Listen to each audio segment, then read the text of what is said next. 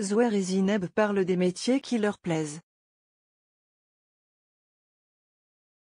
Moi j'adore les chevaux, les vaches, les ânes, les chiens, tous les animaux.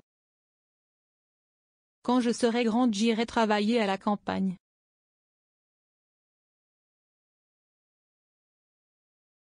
Moi j'aime la mer. Les vagues, le bruit de la mer. Quand je serai grand je serai maître nageur. Tu aimes la nature toi aussi?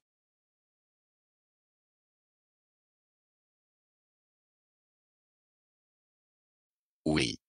Je ne veux pas passer ma journée dans un bureau, j'aime bouger.